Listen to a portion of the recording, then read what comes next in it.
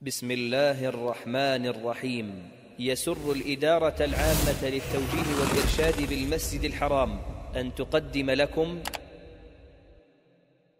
إن الحمد لله نحمده ونستعينه ونستغفره ونعوذ بالله من شرور أنفسنا ومن سيئات أعمالنا. من يهده الله فلا مضل له ومن يضلل فلا هادي له. وأشهد أن لا إله إلا الله وحده لا شريك له. وأشهد أن محمدا عبده ورسوله. أما بعد فإن خير الحديث كتاب الله وخير الهدي هدي محمد صلى الله عليه وسلم وشر الأمور محدثاتها وكل محدثة بدعة وكل بدعة ضلالة وكل ضلالة في النار. الحمد لله الذي أعادنا لما كنا في الخير إن شاء الله في مدارسة سنة نبينا محمد صلى الله عليه وسلم. اللهم وفقنا وعلمنا بما نجهل اللهم وانفعنا بما علمتنا من سنة رسول الله صلى الله عليه وسلم. ونوصيكم أيها الإخوة التمسك بالسنة في كل شيء في الحقيقة. والسنة مظلومة كلمة متعمدة في استعمالها. سنة رسول الله مظلومة في الدنيا كلها ولا يتمسك بها إلا أناس قليلون. فاسأل المسافرين إلى غير هذه البلد وهذا البلد أقامه الله وأدامه وأقام مسؤوليها بالصحة والعافية ومن عيون الأعداء والحاسدين. يحسدوننا في كل شيء يحسدون في تحسن ديننا وفي تحسن دنيانا. بالحقيقة حتى بعض المسلمين وسافر إلى خارج تجد آثارها كثيرا وأنا حديث أهد بالخارج جاي البارحة. فأدعو الله تبارك وتعالى أن يديم هذه الدولة التي أحيت السنة والعقيدة بعد ثمانية قرون عجاف.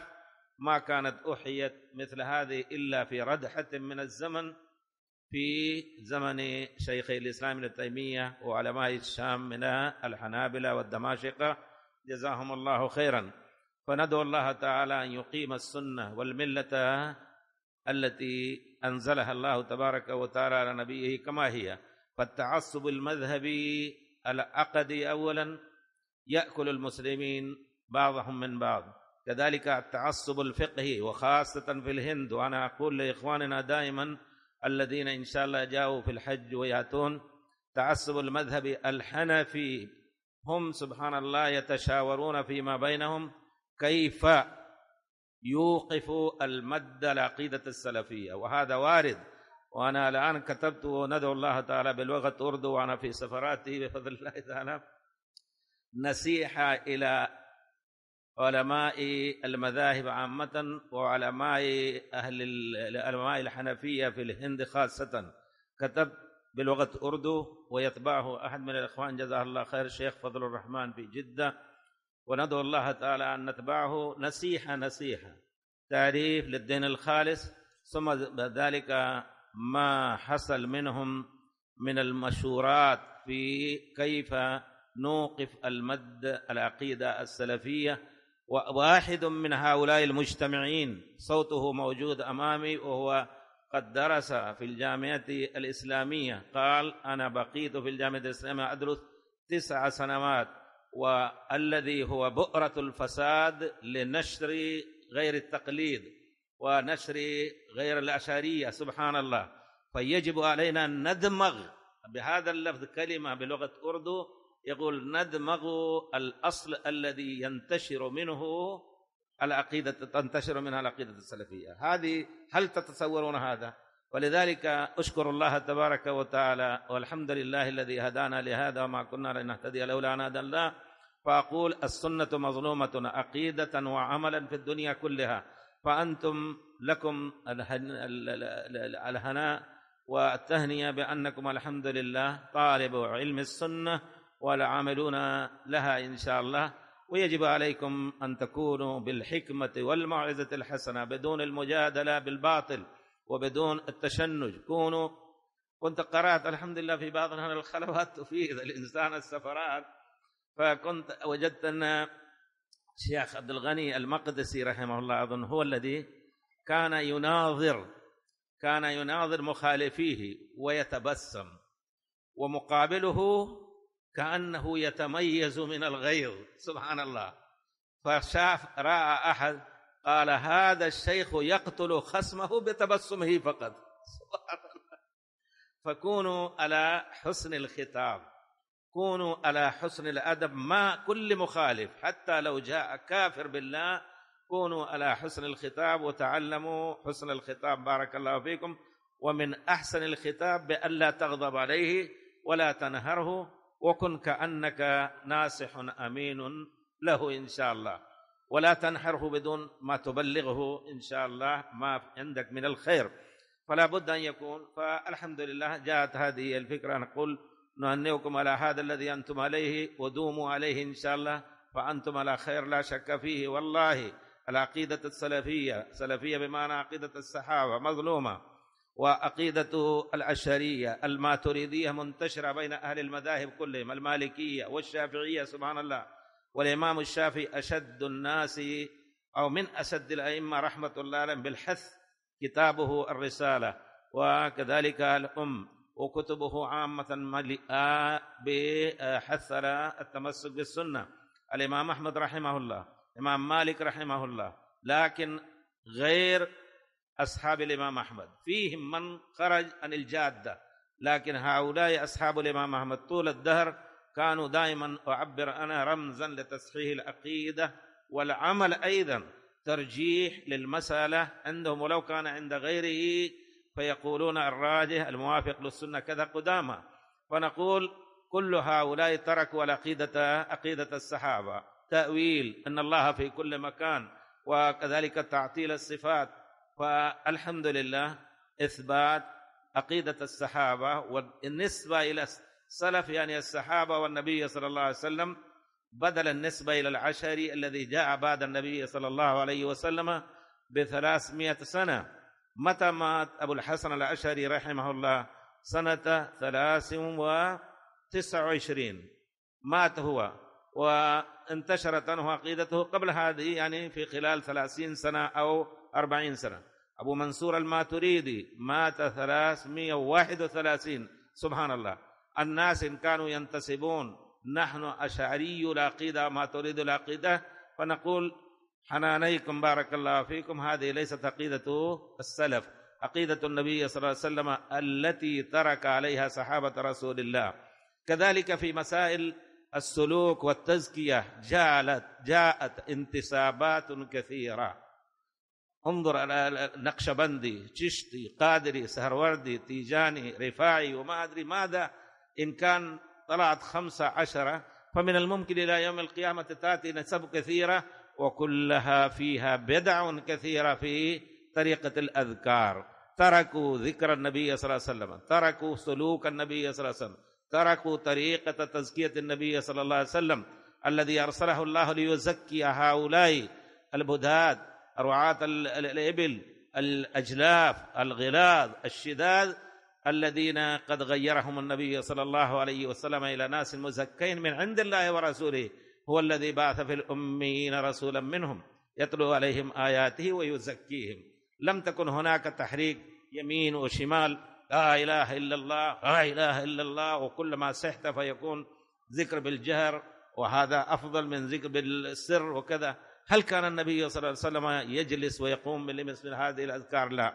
فأنتم الحمد لله السنة والسنة مظلومة ويجب عليكم أن تنصروا الظالم والمظلوم. فالسنة مظلومة تنصروها إن شاء الله. والذين هم خلافه بالحكمة واللين. وما جاء اللين في شيء رفق في شيء إلا زانه.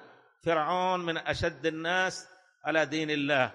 أنا ربكم الأعلى لكن الله الرحيم الغفور. قال اذهبا إلى فرعون إنه طغى. فقولا له قولا لينا. سبحان الله. يقول أنا ربكم الأعلى.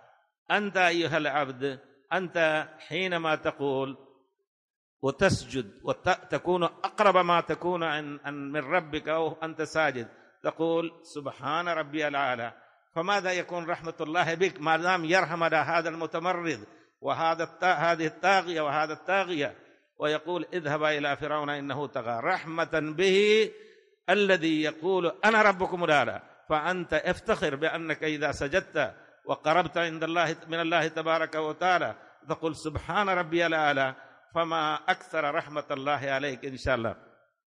فندعو الله تعالى أن يهدينا إلى الصراط المستقيم في كل شيء فيما نأتي ونذر وبارك الله فيكم وجزاكم الله خير. ثم ثانيا قد فرحت برؤياكم جزاكم الله خير. ندعو الله تبارك وتعالى أن نجتمع دائما على الخير ولا يبعدنا الله من بلده ومن حرمه الكريم الذي شرفنا بالجلوس لهذا العلم الذي هو علم حديث رسول الله صلى الله عليه وسلم. ولعل هذا قبل الحج يكون آخر الدروس في اللغة العربية. وبعد ذلك إن شاء الله نخص بلغة أردو لضيوف. لضيوف الله ثم لضيوفكم إن شاء الله. ونلتقي إن شاء الله بعد الحج. وبارك الله فيكم. بسم الله الرحمن الرحيم. قال الإمام الترمذي رحمه الله في جامعه كتاب النكاح الرسول الله صلى الله عليه وسلم. النكاح في كتاب الله تبارك وتعالى جاء بمعنى العقد في كل مكان كما قالوا آه، وأنكحوا الأيام منكم ولا تنكحوا المشركات. ولا كذا بمعنى العقد هنا. إلا في موضع واحد قالوا جاء بمعنى الجماع وهو قوله تعالى أين بمعنى الجماع؟ فإن طلقها فلا تحل الطلاق مرتان فإمساك بمعروف أو تسريح بإحسان ثم بعد ذلك يقول الله تعالى بعد ذكر الخلع قال فإن طلقها فلا تحل له من بعد حتى تنكح زوجا غيره. هنا بمعنى الجماع تفسيرا من حديث رسول الله صلى الله عليه وسلم وليس بمعنى العقد فقط. ولغة من حيث اللغة فالحقيقة قال القاري في المرقات هو مشترك بين الوطي والعقد اشتراكا لفظيا. مشترك لفظي كما يقولون في اللغة العربية ألفاظ كثيرة تشترك لمعان كثيرة بمعنى العقد بين من أريد أن يكون زوجا وزوجة زوجا وزوجة فيكون العقد. كذلك الوطي بمعنى الجماع وهو في كتاب الله لم يستعمل بمعنى الجماع إلا في موضع واحد. وحقيقته قال الوطي بمعنى النكاح بمعنى الوطي أيضا والنكاح في الحقيقة أيضا لم يذكر هنا بمعنى الخرق والشق يأتي. وأنا أذكر قصة شعر من أشعار المتنبي لما يذكر سفره إلى من هو كان من من ملوك لبنان أو من ملوك الشام؟ نعم. أه؟ أيها سيف الدولة. ولما سافر قال آه، ذكر ناقته وطريق السفر إليه ويقاب لبنان وكيف بقطعها. وهو الشتاء وسيفهن شتاء. ويذكر ناقته أنسعها ممغوطة. يعني ما ما طول السفر نسعها وحبال آه، رحلها مهلهلة. أنساؤها ممغوطة وخفافها منكوحة وطريقها أذراع طريقها أذراع معنى لم تمشي على هذه الطريق على هذا الطريق النوق حتى يكون ممهدا أذراع واستعمال كلمة منكوحة مقابل أذراع هذا له معنى. منكوحة أي انخرقت. خفافها من كثرة رمي الحجار أو من كثرة صعوبة الطريق انخرقت أخفاف الناقة. وهذا معنى الخرق والشق والإدماء. هذا المعنى موجود في النكاح. ما هو كذا؟ على كل حال واضح جدا. فيأتي النكاح والنكاح لها فضائلها آه، فضائله والحث للنبي حث من النبي صلى الله عليه وسلم على هذا الفعل كما تأتي الرواية. قال الإمام رحمه الله حدثنا سفيان بن وكيع وفيه بعض الضعف. أيضا قال حدثنا حفص بن غياث الإمام الثقة عن الحجاج وهو حجاج بن ارطاه حجاج بن أرطى قالوا صدوق لكنه يخطئ ويدلس. حجاج بن أرطى يخطئ ويدلس. آه عن مكحول وهو الشامي مكهول اسمه مكهول بن سهراب هكذا شامي. أنا أبي الشمال أنا أبي أيوب قال قال رسول الله صلى الله عليه وسلم أربع من سنن المرسلين الحياء. في بعض الروايات جاء الحناء. قالوا الحناء هذا مصحف الحياء هو الصحيح. والتعطر يعني أخذ العطر والطيب الطيب. آه والسواك والنكاح. هذه كلها من أحكام من سنن المرسلين. الرواية هكذا جاءت من حيث نسبتها إلى نبينا صلى الله عليه وسلم فهذه الرواية ضعفها العلماء وفيه علل حجاج بن أرتاد صدوق يخطي ويدلس وقد دلس ومكحول الشامي أيضا مدلس. أبو الشمال هذا قالوا أنه ضعيف مجهولا أنا أبي أيوب الأنصاري رضي الله عنه. ففيه على الأقل علتان تدليس حجاج إلا أنه صرح بالتحديث عند المحامل وهذا كما تتبع العلماء. والعلة الثانية جهالة أبي الشمال ابن الضباب هكذا بالضاد ابن الضباب. فمدار الحديث على أبي الشمال وهو مجهول لم يعرف أهو ثقة أم ضعيف ولذلك لا تصح نسبة هذا الحديث. إلى النبي صلى الله عليه وسلم. أما من حيث المعنى فقل معناه صحيح لكن لا تقل بهذه المجموعة صدر من النبي صلى الله عليه وسلم إلا إذا رواه ثقات ومتصل السند غير معلل ولا شاذ. فهنا لم ينطبق عليه تعريف الحديث الصحيح معروف. أما من حيث المعنى فالحياء لا شك فيه. الحياء وكان النبي صلى الله عليه وسلم أشد حياء من العذراء في خدرها. كذلك التعثر. حبب إلي من دنياكم الطيب والنساء. السواك. لولا أن أشق على أمتي لأمرتهم بالسواك مع كل وضوء. وكان النبي صلى الله عليه وسلم أكثر تعاهدا على السواك.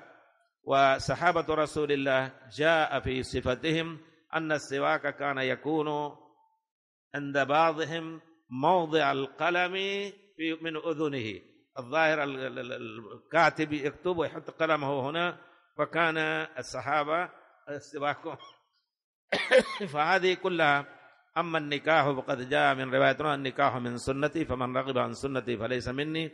والأنبياء رضي الله عنه عليهم السلام عامة قد ثبت لهم نكاحهم إلا بعضهم مثل عيسى عليه السلام وإلا إلا الآية الكريمة. وما أرسلنا من رسول. ولقد أرسلنا رسلا من قبلك وجعلنا لهم أزواجا وذرية. هذا هو. نعم. فلذلك الذين ابتدعوا عدم الزواج من أهل الدين كما يقول رجال الدين هذه بدعة ورهبانية ابتدوها ما كتبناها عليهم. نعم.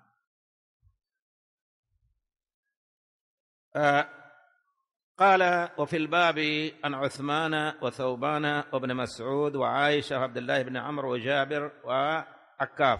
في الباب كما هو عرفنا من قبل أنه يكون في باب الحث على النكاح يكون روايات تأتي صحيحة إن شاء الله كثير منها. قال أبو عيسى حديث أبي أيوب حديث حسن غريب. حسن غريب هذا رأي الترمذي. في الغالب هو يقول غريب. قالوا في بعض النسخ جاء غريب فقط وليس التحسين. لكنه على كل حال من حيث التحقيق إنه ضعيف وليس حسنا اصطلاحيا.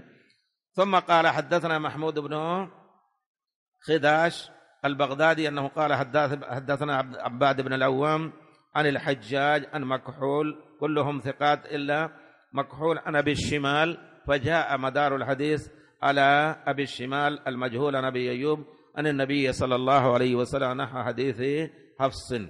قال أبو عيسى وروى هذا الحديث هشيم وابن بشير ومحمد بن يزيد الواسطي وأبو معاوية أبو معاوية محمد بن خازم الضرير وغير واحد عن الحجاج عن مكحول عن أيوب ولم يذكروا فيه عن أبي الشمال. هذا الحديث روى بعضهم عن الحجاج عن مكحول عن أيوب. كان حذف أبي الشمال في ظاهره قد يحسن الإسناد. لكن مكحول لم يلقى أبا أيوب الأنصاري وهو مرسل والمرسل من قبيل الضعيف أو منقطع قل هكذا. فإذا يبقى الحديث ضعيفا في كلتا أو كلا الإسنادين. ثم بعد يقول في الباب عن عثمان بن عفان وحديثه من كان منكم ذا طول فليتزوج فإنه أغض للبصر وأحسن للفرج ومن لا فالصوم له وجاء. كذلك يقول عن ابن مسعود وثوبان. ثوبان رضي الله عنه جاء في حديث النكاح لا في إسناده آه أنا عائشة رضي الله عنها. ابن مسعود الحديث نعم وابن مسعود حديثه معروف في الصحاح أن النبي صلى أن النبي صلى الله عليه وسلم قال يا معشر الشباب من استطاع منكم الباءة فليتزوج فإنه أغض للبصر وأحسن للفرج ومن لم يستطع فعليه بالصوم فإنه له وجاء. وجاء عن عائشة رضي الله عنها أيضا النكاح من سنتي فلم يعمل بسنتي فليس مني. هذا الحديث في إسناده عيسى ابن ميمون لكنه هو مضاعف إلا أنه جاء من طرق أخرى وهي صحيحة. وعن عبد الله بن عمرو بن العاص رضي الله عنه أن قال النبي صلى الله عليه وسلم أيضا صحيح بلفظ إن لكل أمل شرة ولكل شرة فترة. فمن كانت فترته إلى سنتي فقد اهتدى ومن كان إلى غير ذلك فقد هلك. ذكر هذا في ذكر النكاح كما ذكروا. وجابر رضي الله عنه لما تزوج قال يا جابر تزوجت بكرا أم سيبا؟ قال سيبا. قال هلا بكرا؟ هنا ذكر أشار إلى هذا قال سيبا الحديث. وتمامه قال هلا تزوجت بكرا تلاعبها وتلاعبك؟ فقال يا رسول الله إن أبي عبد الله قد مات وترك تسع بنات فكرهت أن آتي بمثلهن. آتي بمثلنا وآتي بامرأة تجمع رؤوسهن. هذا عقله رضي الله عنه. فجاء بثيب وهو شاب في مقتبل شبابه لأجل أخواته ضحى شهوته وضحى رغبته في الحقيقة لأجل أخواته. كرهت أن آتي بمثل واحدة صغيرة مثل أخواته فتكون خرقاء مثل حتى جاء في لفظ. كرهت أن آتي خرقاء مثلهن. يعني تكون بالبيت ضايع. لكن جئت بامرأة ثيب متزوج أو مات عنها زوجها متزوجة مات عنها زوجها تكون قد عاشت ومارست الحياة تجمع رؤوسهن. فهذه كلها كذلك أن جابر إنما أيما شاب تزوج في حداثة سنه هذه الرواية فيها ضعف على كل حال. أن جابر حديث آخر أيما شاب تزوج في حداثة سنه عج شيطانه أي رفع صوته بالبكاء أو الشكوى عصم مني دينه. الحاصل على كل حال والروايات الأخرى أيضا جاءت بهذا المعنى يعني وفيها بعض الضعف. إلا أن كثيرا من الروايات وهي صحيحة في الحث على الزواج والنكاح وهي سنة المرسلين ولا شك فيه. نعم. يقولون إن نعم بعض خلفاء المسلمين أرسل إلى ملك الروم إلى ملك الروم رسولا فجال ملك الروم وهو أظن أبو الوليد أو من هو؟ أبو الوليد الباجي. أه؟ أبو بكر الباقلاني فجعل آه، مدخله نازلا حتى أو كان جعل دائما أي واحد يدخل يدخل راكعا أمام الملك. فلما دخل أبو بكر الباقلاني رحمه الله فدخل من ورائه وجعل إسته وراءه هكذا ذكر وظهره إلى الملك. فلما رأى هذا قال إن هذه لداهية أو إن هذا لداهية. ولما وصل عنده فأما عنده هؤلاء البوابي والقساوسة وغيره فخاطب واحدا منهم كيف كيف أنتم وأهلكم؟ قال أنت إمام المسلمين وأنت من علماء المسلمين ما تعرف أننا نحن لا نتزوج؟ فقال كيف أنتم لا تزوجون وربكم تزوج وأنتم لا تتزوجون لأنهم يعتقدون أن عيسى عيسى ابن الله. فقال كيف؟ ربكم يتزوج وأنتم ما تتزوجون فالملك بالحقيقة انخذل وأكرمه إلى آخره. فالله المستعان. ثم بعد ذلك قال حدثنا محمود ابن غيلان. محمود ابن غيلان. آه قال حدثنا أبو أحمد الزبيري. محمود الغيلان ثقة. أبو أحمد الزبيري هو محمد بن عبد الله بن الزبير الزبيري من الثقات.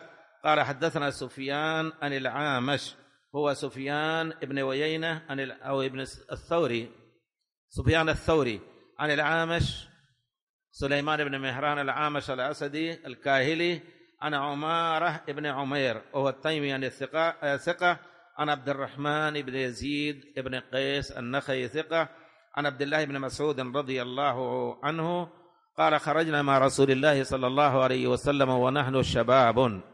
لا نقدر على شيء. المقصود منها إشارة يعني لا نملك شيء وليس عندنا أهل ولا نتزوج نقدر نتزوج لا نقدر على شيء. فقال يا معشر الشباب كلمة معشر يقولون يا جماعة قد يكون عام لكن كلمة معشر إذا كان الجماعة الذين يصفهم وصف خاص. فلذلك كلهم شباب يا معشر الشباب يا معشر الشيوخ يا معشر الطلبة. فيا معشر الشباب عليكم بالباءة. الباءة هنا المقصود منه الزواج مع تبوية المرأة في المنزل. يعني إذا كان الإنسان يقدر أن يبوئها وإذا بوأها في مكان فلا بد أن يطعمها ويكسوها مع أطعمها مع طعمها وكسى. عليكم بالباء. فالإشارة هنا بمعنى من يقدر أو حاولوا أن تحصلوا وتكونوا قادرين على الزواج. هذا لفظ. وفي رواية أخرى قال يا معشر الشباب من استطاع منكم الباعة؟ فهنا عليكم بالباء في التزام بمعنى اجتهدوا حتى تحصلوا على ما تتزوجون وتبوئون به المرأة في منزلكم وبيتكم.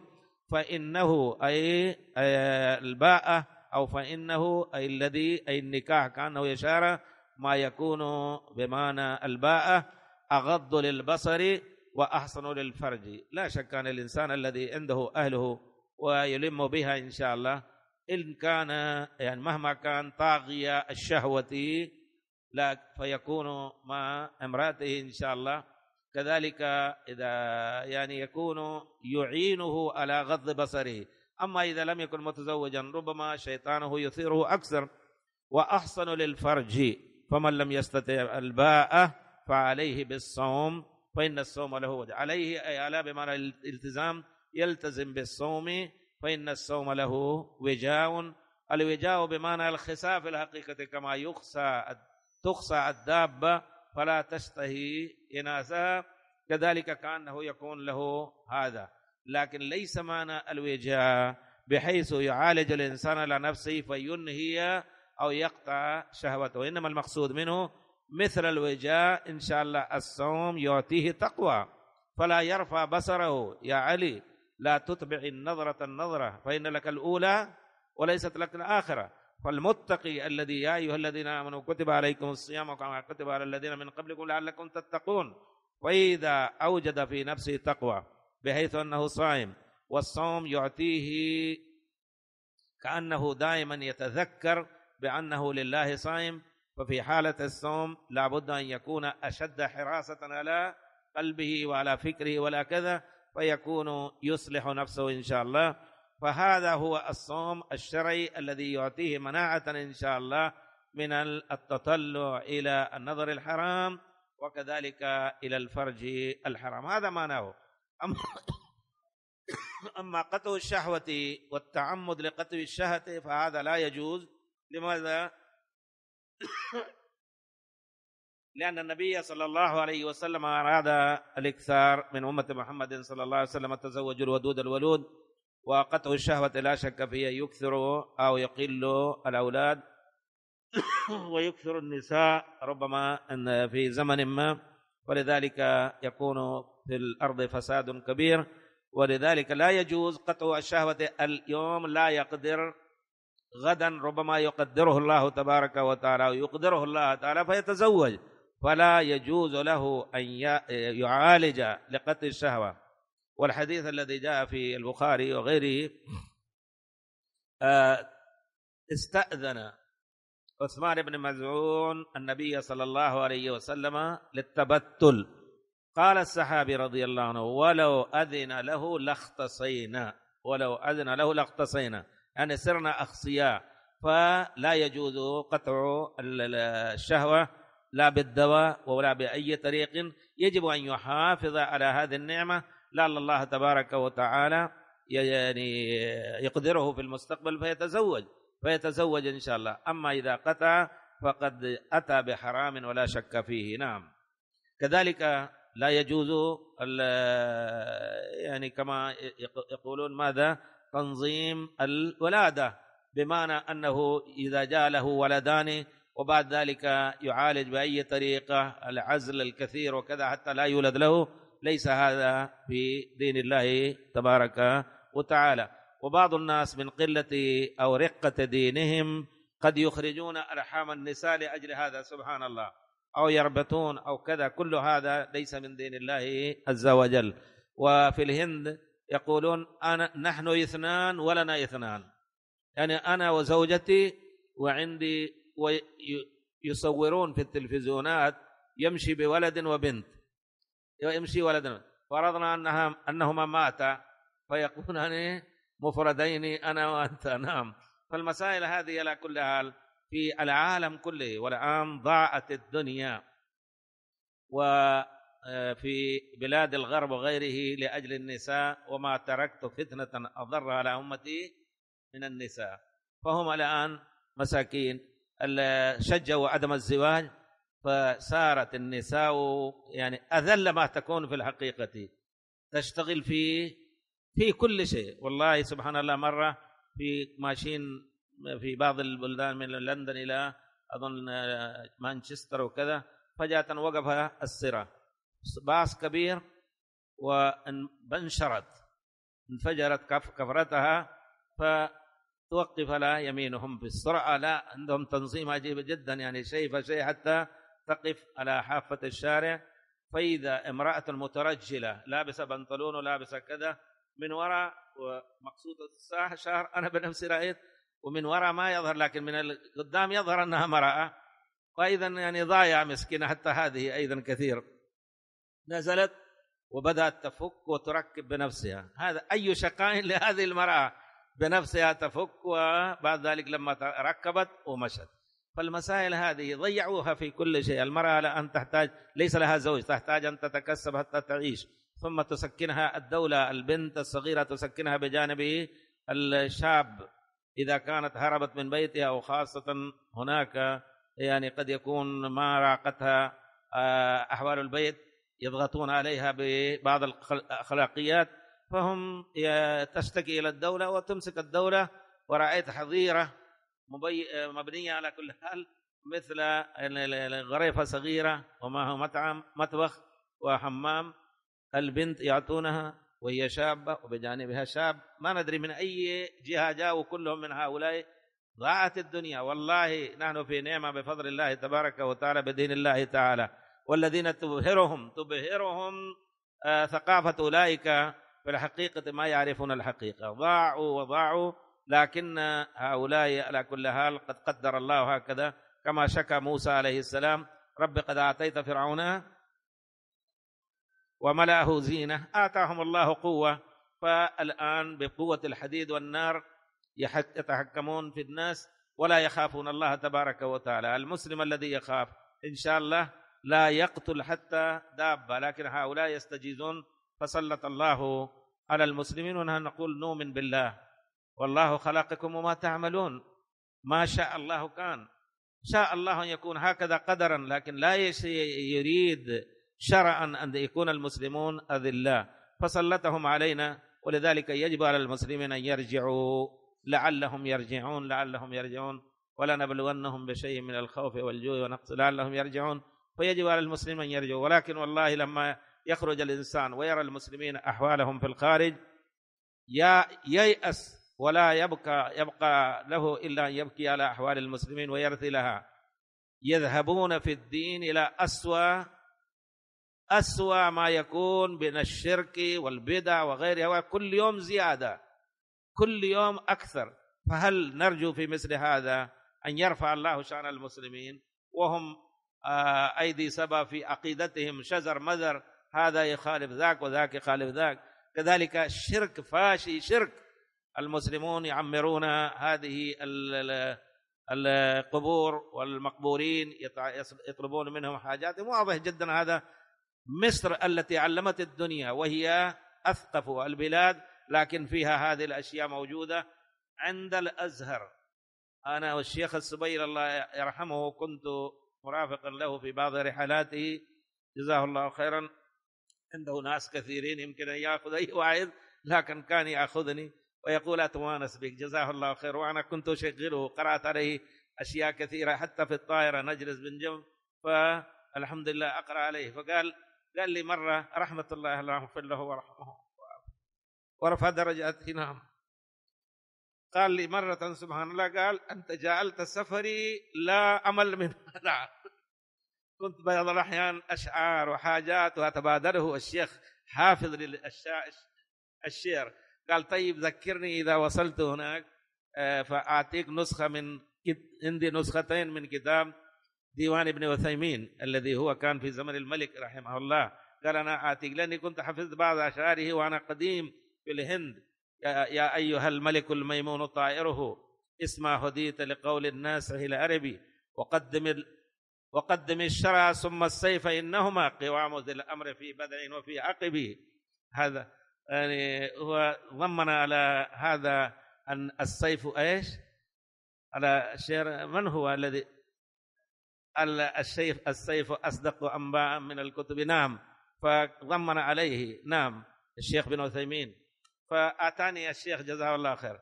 قال جعلت رحلتي الآن ممتعة لأن كل موقع وإذا ذهبنا في مكان أتمثل بالشعر لأن الشيخ الهلالي رحمه الله آتاني أشياء كثيرة بفضل الله تعالى. فالشيخ كان يقول الحمد لله يعني أنت جعلت سفري يعني أتمتع بها الآن وإلا اللي يروح جاء ساكت معه ينعس وكذا أنا ما أتركه هو. نعم. فإيش كنا فيها؟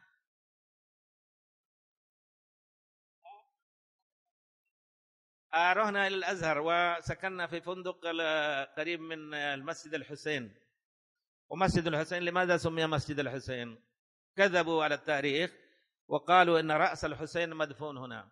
وهذا قبل 600 الإمام ابن تيمية رحمه الله له كتاب رأس الحسين رسيلة صغيرة جيدة كذب هذا وقال تاريخا لم يثبت أن رأس الحسين جاء من الشام إلى إلى مصر لكنهم أجلى وأجمل من قبة مقام إبراهيم. سبحان الله. رحنا يعرفون المشايخ مصر. نعم.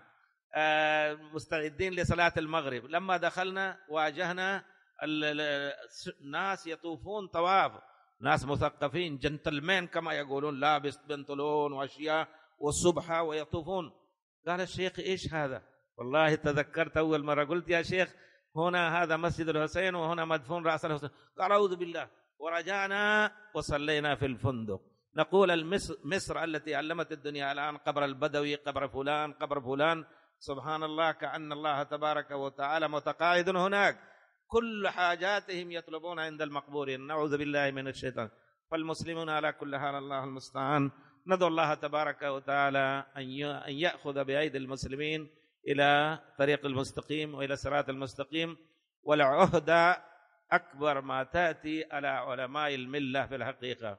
وأكبر عهدة على علماء السنة الذين أكرمهم الله تبارك وتعالى هم بأن يكونوا عالمين بالكتاب والسنة الدين الخالص. وما أمروا إلا ليعبدوا الله مخلصين له الدين.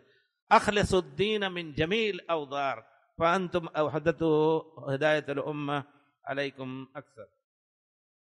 يقول الترمذي رحمه الله قال أبو عيسى هذا حديث حسن صحيح.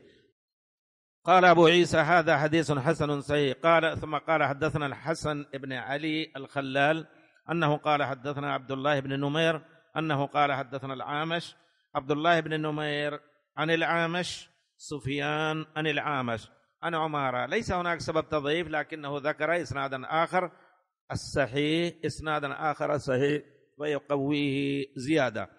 قال أبو عيسى وقد روى غير واحد عن العامش بهذا الإسناد مثل هذا وروى أبو معاوية والمحارب عن العامش عن إبراهيم عن علقمة عن عبد الله بن مسعود عن النبي صلى الله عليه وسلم.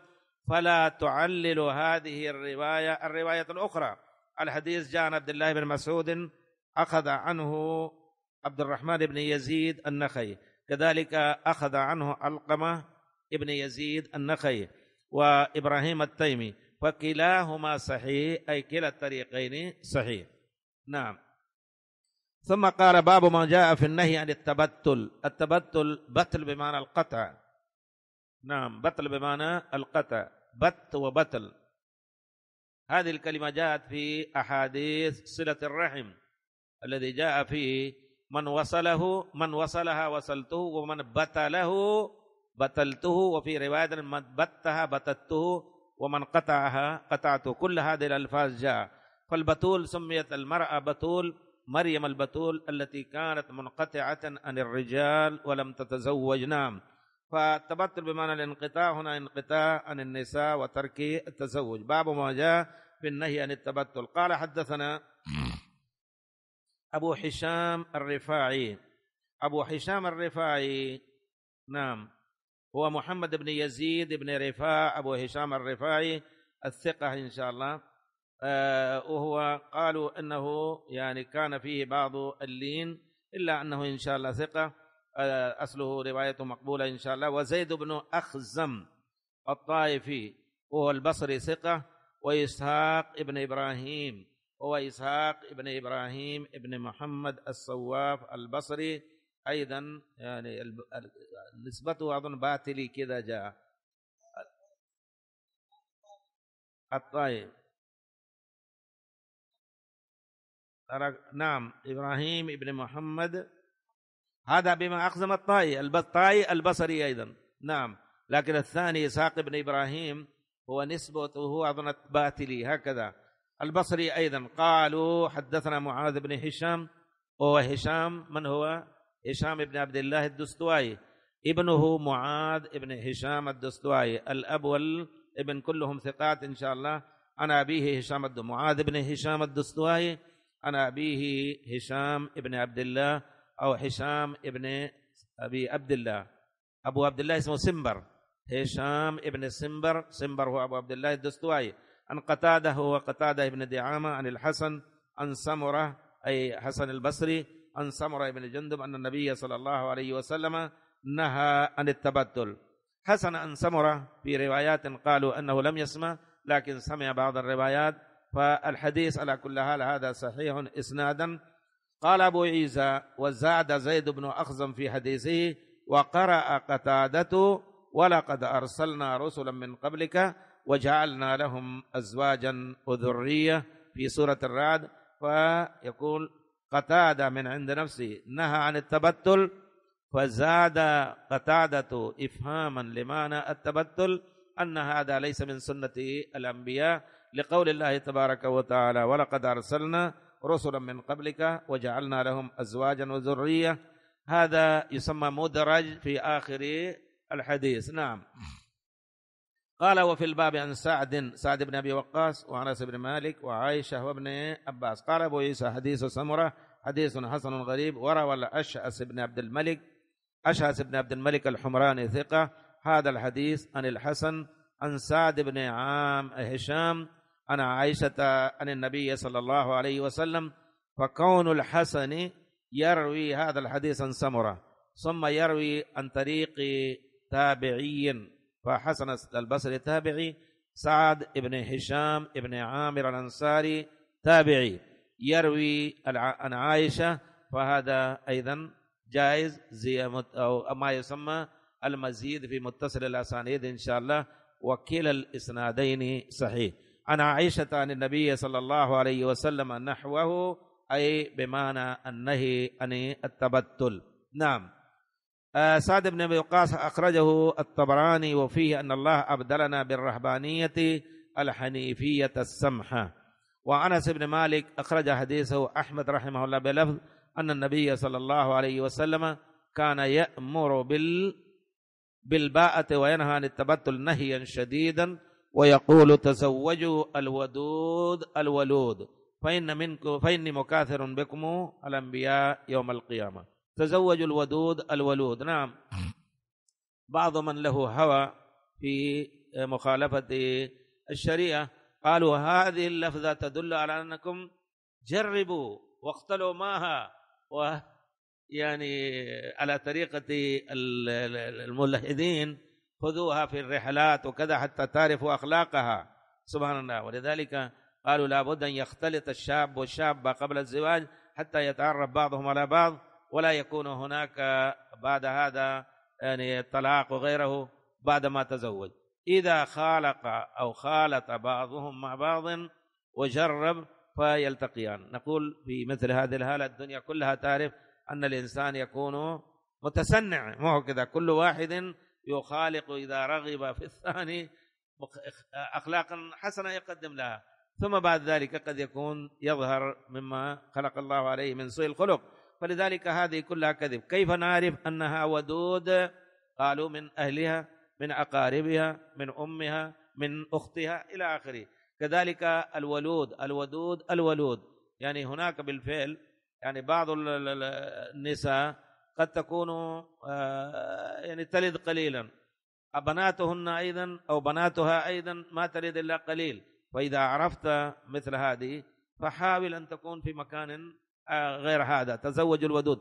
لكن ليس معناه أنها تترك مثل هذه النساء. لأن للرجل أن يتزوج ثانية ثالثة رابعة وكذلك كبار السن قد يكون يتزوجون مثل هذه إن شاء الله. وليس معناه اتركوهن ولا تتزوجوا السيبات. هلا بكرا تلاعبها تلاعب. معناه اتركوا السيبات. لا. وأنكحوا الأيام منكم والصالحين فيجب على المسلمين أن يراعوا في هذه المعنى كلها فيكون ودود الولود. فإني مكاثر بكم الأمم. وهذا أيضا دليل على أنه لا يجوز للإنسان بدون حاجة وبدون ضرورة ليس حاجة بدون ضرورة والاضطرار لا يجوز أن يتسبب بإقلال الولادة أو بمنع الولادة. تزوجوا الودود الولود فإني مكاثر بكم الأنبياء يوم القيامة. ولا تقتلوا أولادكم خشية إملاق. لا شك في الذين يقولون الذين لا يدينون بدين الله ولا يعملون بدين الله تبارك وتعالى وهم يقولون من أين يأكلون؟ من أين يشربون؟ سبحان الله وقد مرت على الهند أيام كان وجب على الناس الذين ساروا لهم ولدين ثلاثة أن يقطعوا العرق حتى لا يلدوا. الإندرا غاندي هذه هي التي قامت بهذا وقد حصل قتال مع المسلمين ومع الأطباء وفريق الأطباء الذين كانوا يدورون في القرى وغيرها حتى أوقفت هذه لكنها قد أفسد على ناس كثير وكانوا يعطون جوائز الذي يعمل هذا العمل حتى لا يلدوا. قالوا من أين يأكلون؟ سبحان الله من بعد ذلك قد زاد في الهند ملايين وهم يأكلون ويشربون كل يوم إلى تحسن. وفي السماء رزقكم وما توعدون. لكن الناس الذين ليس عندهم دين ولا إيمان كأنهم لا يعلمون إلا ظاهرا من الحياة الدنيا. وهذه من أعمال الجاهلية. ولذلك قال الله تعالى ولا تقتلوا أولادكم خشية إملاق نحن نرزقهم وإياكم. أي نعم إن قتلهم كان خطأ كبيرا. والآن بالفعل يتعمدون. قد يكون في الشهر الثالث رابع يسقطون. هذه كلها على كل حال لا علاقة لها بدين الله تبارك وتعالى. ثم بعد ذلك قال حدثنا الحسن بن علي الخلال وهو من الثقات وغير واحد يعني لم يذكرهم. قالوا أخبرنا عبد الرزاق وهو الإمام صاحبه المصنف الإمام عبد الرزاق الصنعاني. قال أخبرنا معمر بن راشد عن الزهري عن سعيد بن مسيب عن سعد بن أبي وقاص ثقات أثبات. قال رد رسول الله صلى الله عليه وسلم على عثمان بن مذعون التبتل أي عدم الزواج والامتناع من الزواج ولو أذن له لاختصينا. لا اختصينا نعم. ثم بعد ذلك قال باب ما جاء إذا جاءكم من ترضون دينه فزوجوه. إذا جاء آه. قال أبو عيسى هذا حديث حسن صحيح. نعم. آه باب ما جاء إذا جاءكم من ترضون دينه فزوجوه. قال حدثنا قتيبة وهذا الحديث بجانبه الحديث الثاني. قال حدثنا قتيبة قال حدثنا عبد الحميد ابن سليمان عن ابن عجلان. عبد الحميد ابن سليمان الخزاعي وكان ضريرا ضعف في حفظه. عن ابن عجلان هو محمد بن عجلان الذي قالوا اختلطت عليه أحاديث أبي هريرة عن ابن وسيمة وهو زفر ابن وسيمة ابن وسيمة زفر ابن وسيمة وثقه ابن حبان وروى عنه عدة فلذلك مقبول النصري. عن أبي هريرة قال قال رسول الله صلى الله عليه وسلم إذا أتى إذا خطب إليكم من ترضون دينه وخلقه فزوجوه وإلا تفعلوا تكن فتنة في الأرض وفساد عريض. هذا الإسناد لو كان وحده فهو مضاعف إلا أنه جاء من طرق أخرى ذكره الحاكم طريق آخر في مستدرك كذلك الطبراني في الأوسد وجاء له طرق ذكره الأئمة رحمة الله عليهم وحسنه الشيخ الألباني رحمه الله وهو حديث حسن. فيحث على أنه كما قال النبي صلى الله عليه وسلم تنكح المرأة في الحديث الصحيح تنكح المرأة لأربعين. ليه؟ لدينها ولمالها ولجمالها ولحسبها. فاظفر بذات الدين تربت يداك. يعني اختر لا تختر ذات مال فإن المال قد يفنى. ولا تختر ذات جمال فإن الجمال قد يزول. ولا تختر ذات حسب لأن الحسب ليس له اعتبار. فاظفر بذات الدين. إذا كانت ذات الدين تسعد وتسعد. الشيخ ابن باز كان إذا سأل واحد وكانوا يغشون رحمة الله عليه اللهم أرفع درجاته في الليين كان هناك بعض الإخوان يذهب إلى الشيخ يقول يا شيخ أنا أخاف على نفسي. الشيخ يقول ابحث ابحث أنا أساعد. فيبحث الزوجة والشيخ يساعده فيتزوجون. هناك في المدينة في الجامعة الإسلامية. والشيخ جزاه الله خير بما شرفه الله تعالى. يكتب إلى الإمارة ويعطوا المرأة الإقامة وحاجات. جزاه الله خير. نعم. وكان لا يجيز. قال إذا قدرت فتزوج هو الأول ثم تعلم. الشيخ كان دائما يقول للطلبة ويقول تروح وترجع وتزوج كان الناس يغشون يقولوا يا شيخ أنا رايح أتزوج الآن في القرية وما عندي ما أملك. يعني سبحان الله عرفنا واحد منهم تزوج في المدينة ثم بعد ذلك حصل منه طلاق وكذا. وكان دائما حتى الشيخ يأتيه مرة ثانية ثالثة. اللهم اغفر له. فعلى كل حال الذي يظهر أن الدراسة لا يجوز لها له أن يمنع. دراسة دراسات عليا ليست واجبة. فحفظ دينه أوجب بارك الله فيك. لكن قالوا إذا كان الإنسان يقدر ويثق بنفسه جاز له أن يوخر جاز له أن يوخر وعلى كل حال لا تجد في الأئمة رحمة الله عليهم إلا ناسا مخصوصين لأجل العلم لم تذكر لهم أزواج وذرية. ما مخصوصين مثلهم منهم ابن جرير الطبري قال ما حللت إزاري في حلال ولا حرام. ابن تيمية رحمه الله لا يذكر له أولاد.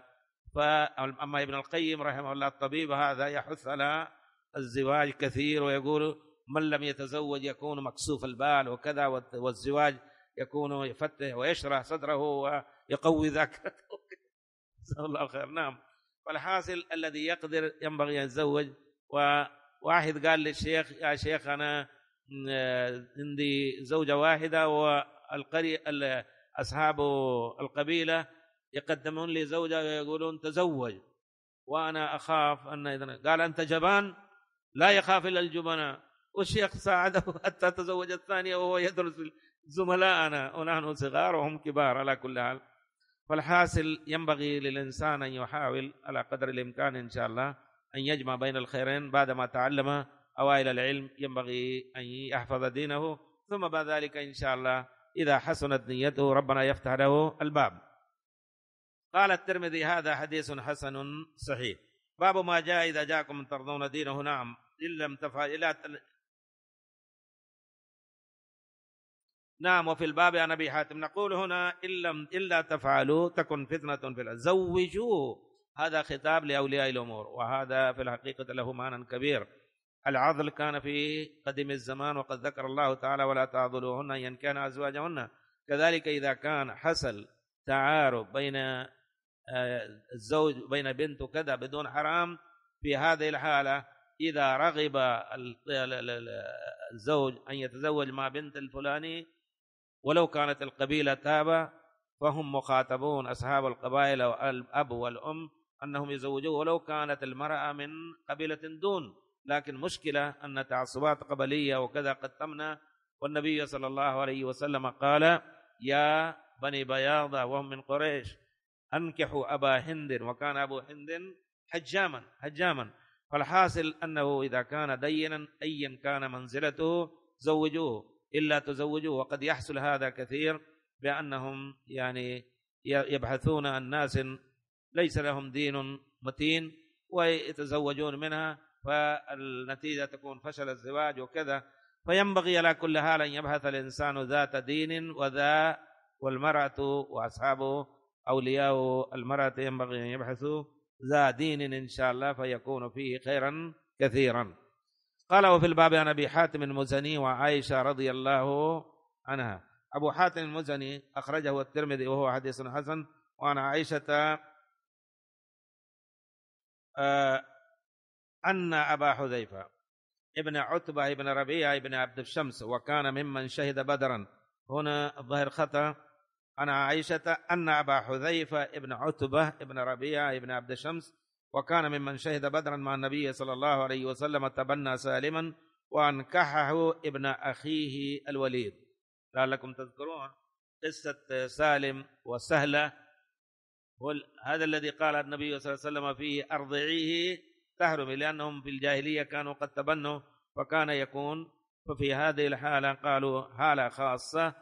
أجاز لها النبي صلى الله عليه وسلم أن ترضعه فتكون أما له وهو كان قد كبر وكانت له لحية كما جاء في الروايات. هذه حالة خاصة. في الجاهلية كانوا قد جعلوه ابنا له. إن أبا إن سالما ابنا لنا. أو جاء في الروايات هكذا. فهنا أن تبنى سالما وأنكحه ابنة أخيه الوليد بن عتبة بن ربيعة وهو مولى امرأة من الأنصار. وأخرجه البخاري والنسائي وأبو داود مرسلا على كل حال. فجاءت الروايات بهذا المعنى كثير وهو أنه مهما كان من حيث النسب والحسب وغيرها فينبغي أن يكون التكافؤ والمكافأة بال والكفاءة بالإسلام بالإسلام.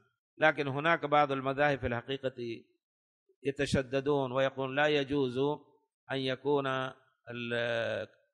القرشي كفوا أو غير القرشي كفوا للقرشية أو بالعكس وهكذا وخاصة في المذهب الحنفي فيه شدة نقول هذا كله باطل وقد نهى النبي صلى الله عليه وسلم عن اتباع هذه الأشياء. قالوا إن زينب وزيد سبحان الله لما زوجهم الله تبارك وتعالى فلم يقدر أن يعيش لأن زينب كانت من قريش وزيد كان مولى. قالوا لابد أن ينظر إلى الكفاءة وهذا ليس من دين الله فالكفاءة في الدين. فقد كما قال النبي صلى الله عليه وسلم انظروا إلى خلقه ودينه كذلك فاظفر بذات الدين تربت يداك. نعم. والمالكية أيضا أظن في هذا الباب شديدين جدا لا يجيزون إذا كان واحد حجام إذا كان واحد دباغ لا يجيزون لغيرهم الظاهر في الكفاءة. أو في المكافأة في الزواج. فلا يكون كفوا الدون للقبيلة أو للحسب العالي هذه ليس من دين الله نقول بكل وضوح الأحاديث تدل على هذه. ثم قال حدثنا محمد بن عمرو قال أبو عيسى حديث أبي هريرة قد خولف عبد الحميد بن سليمان في هذا الحديث ورواه الليث بن سعد عن ابن عجلان عن أبي هريرة مرسلا ولا يضر إن شاء الله. والإسناد ذاك صحيح. وابن عجلان عن أبي هريرة بينهما إعضال وليس الانقطاع. فلا يضر لأنه قد يكون الإنسان يذكر فتوى ولا يسند. فهنا أسند عن ابن عجلان بن وسيم البصري عن أبي هريرة. هنا قال ابن عجلان ترك ذكر أبي ابن وسيمة فيكون هذا يقول علة ولا تكون علة إن شاء الله. والرواية جاءت من طرق يقوي بعضها بعضا في صحة هذه الرواية. قال أبو عيسى حديث أبي هريرة قد خولف عبد الحميد بن سليمان في هذا الحديث ورواه الليث بن سعد عن ابن عجلان عن أبي هريرة عن النبي صلى الله عليه وسلم مرسلا. قال أبو عيسى قال محمد أي الإمام البخاري رحمه الله وحديث ليس أشبه. وهذا كثير يعني في كلام كلام الأئمة أشبه بمعنى أقرب إلى الصواب. فكأنه رأى أن الليث بن سعد أقوى من عبد الحميد بن عجلان وعبد الحميد بن عجلان ضعيف. نعم كان يكون هذا لكنه لو لم تكن له طرق أخرى جاءت الطرق الأخرى. فقوت رواية ابن وثيمة عن أبي هريرة رضي الله عنه. ولم يعد حديث عبد الحميد محفوظا. نعم. ثم قال حدثنا محمد بن عمرو السواق البلخي. ثقة. قال حدثنا حاتم بن إسماعيل. حاتم بن إسماعيل أبو المدني أبو إسحاق قالوا كان يخطي في بعض الأحيان من حفظه لكنه إذا روى من كتابه فهو صحيح الكتاب. وهذا معروف في شرط الصحة. إذا كان عرف أن حفظه أيضا يوافق كتابه فيكون حافظ ثقة تامة الضبط. لكنه إذا كان حافظ الكتاب فقط ويروي من الكتاب أيضا يصفونه بأنه ثقة تمام الثقة لأن حفظ نوعان حفظ صدر وحفظ كتاب. والذي قال بعضهم حفظ قمطر. نعم. فأيا كان إذا كان حفظه ضعيف ولم يحفظ أحاديثه وروى من غير كتابه أما إذا كان ظهر أنه روى من كتابه فيكون صحيحا بدون شك. وهنا قد توبي في هذا الباب على كل حال كما مر بنا أيضا وهذه الرواية أيضا برواية حسنة فيه بعض الضعف إذا كانت شبهة الضعف في محمد بن حاتم إنه يكون قد روى من حفظه. لكن إذا روى من كتابه فيذهب هذا هذه الشبهة. وإذا بحثنا له طرقا وشواهد وكذا فيقبضي على كل حال. حاتم بن إسماعيل عن عبد الله بن مسلم وهو عبد الله بن مسلم ابن حرمز الفدكي كان ضعيف الحفظ وهو بمعنى إذا جاءكم من ترضون دينه وخلقه فأنكحوه إلا تفعلوا تكن فتنة. وندعو الله لنا ولكم التوفيق والسداد إن شاء الله وندعو الله تعالى أن يصلنا بالأيام المقبلة. وصلى الله على خير خلقه محمد وعلى آله وأصحابه.